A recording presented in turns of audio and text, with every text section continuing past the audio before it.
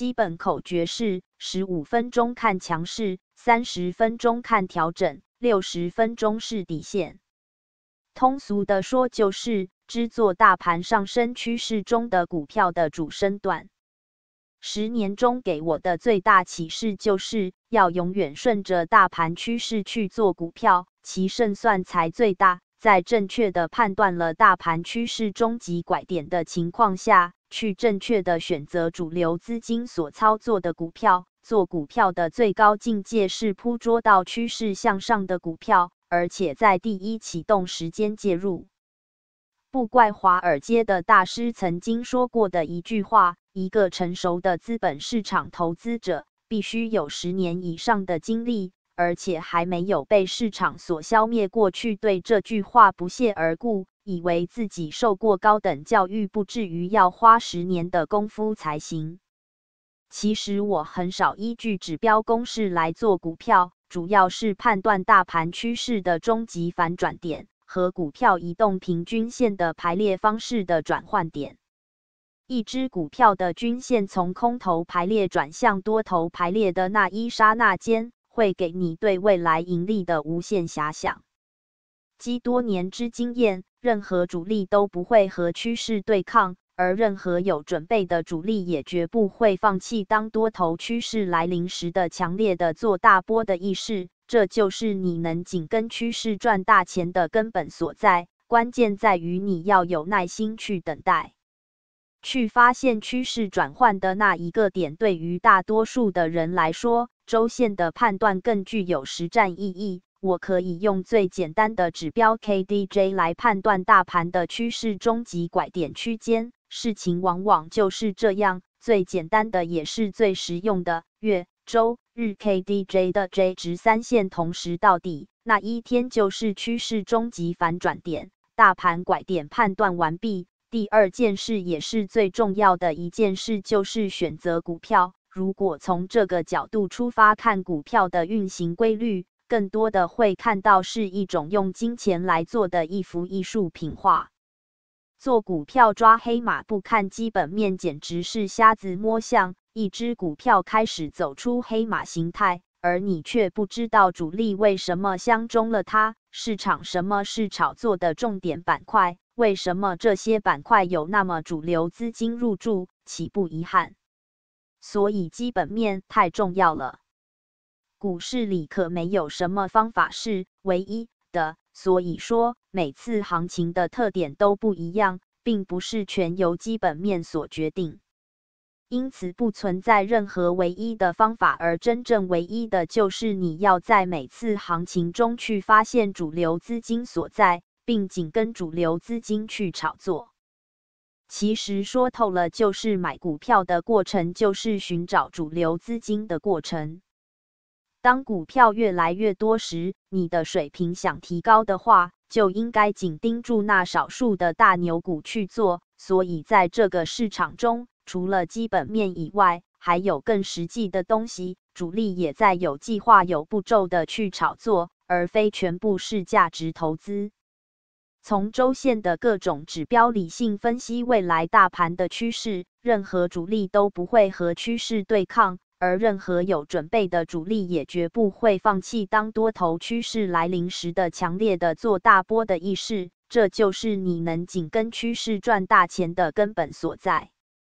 做股票其实是四合：合买、合股、合卖、合空。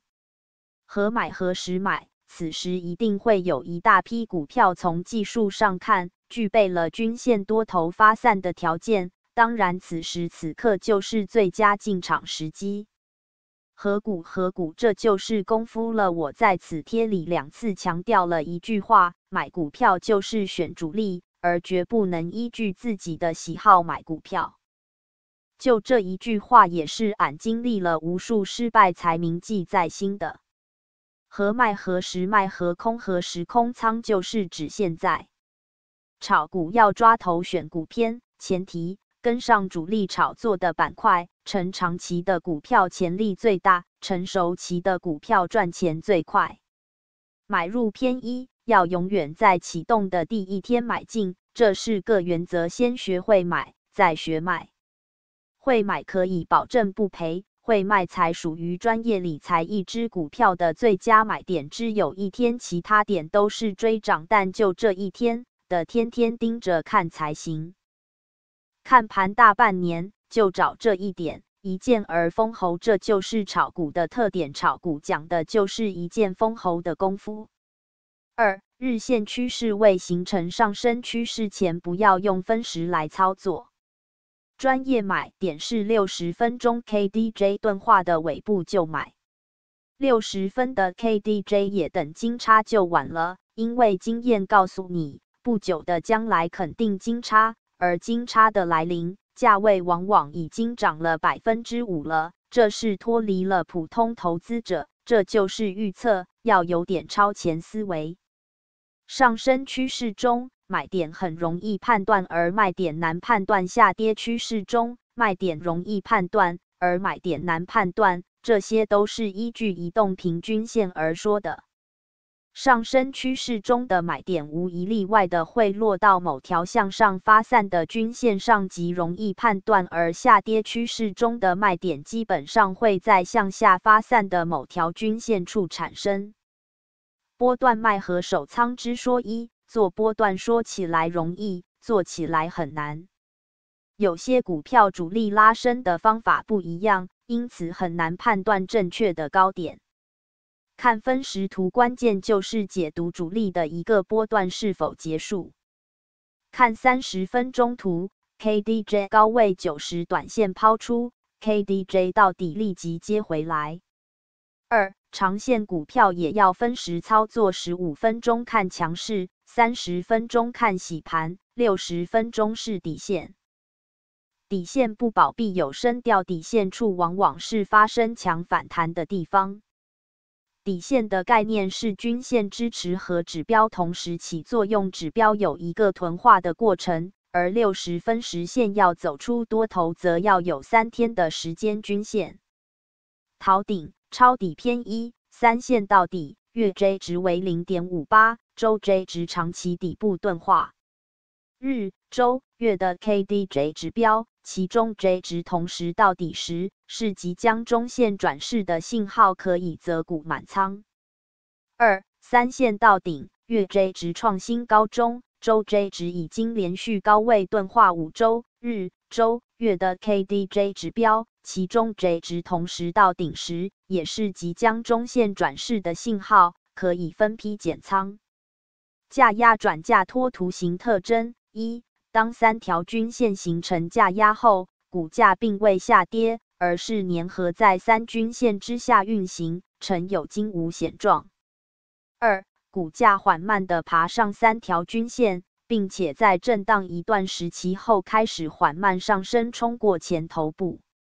三，此时会形成一个价托。四，由价压转化为价托，其中需要经过一个麻花节，一般股价是在这里重新爬上三条均线的。市场意义：一，遇到强庄在收集筹码完毕后，会出现一个震荡洗筹的过程。二，如果该股题材特别好，或庄家实力特别强大。该股的回档幅度会很小，或呈横向盘整。三、经过长期的横向震荡后，以时间换空间，重新蓄势，获得上升空间。操作方法一：当三条均线形成价压后，表示股价停止上升，此时应做卖出，因为在价压下，绝大多数个股会有一段下跌行情。只有极少数个股才会压转拖，在情况不明时，先做卖出是明智的。二，如果股价重新回到三条均线之上，则应加强对该股的观察，并随时准备介入。三，如果股价开始冲过前一头部，此时不管是否有成交量的支持，都应该及时介入。